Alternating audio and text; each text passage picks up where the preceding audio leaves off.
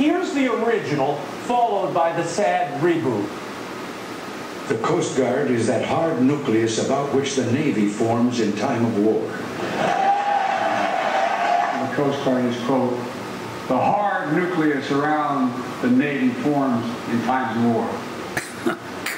you are, why, you're a really dull class. I mean, come on, man. Is the sun getting to you? I would think you'd have an opportunity when I say that about the Navy to clap. I see you. I see your sign, Ingram. You know, what did he think he was going to be received as? David Schwimmer at the fa- uh, Friends.